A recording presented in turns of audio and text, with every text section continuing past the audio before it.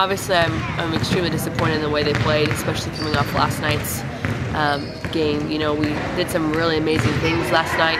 We're really coming on as a team, and uh, I was really hoping that it was going to go on to today, and we uh, we clearly didn't show up to play. We just weren't ready mentally, um, and so we made a, a ton of errors. Um, stat-wise, we were right up with them every um, almost in every category, except for the fact that we just we weren't into it. I mean, they did everything to us, and we didn't do a thing back to them. Well, we got to work on obviously some some mentality issues. Um, coming in right away and playing. Again, you saw today in the set that we weren't ready to play in set one, so we got to figure out how to overcome that be ready to be prepared. Set one, ready to go. So um, we're going to do some, um, probably some mental toughness drills, try to get into them a little bit, get them to be a little bit more scrappy and to, to fight for each other. Because what they lacked tonight was heart and teamwork. And, uh, you know, I can handle hitting errors and I can handle all out going after a ball, but I can't handle non-communication and lack of team effort. So we're gonna we're gonna do some definite some team drills and try to get them to be refocused.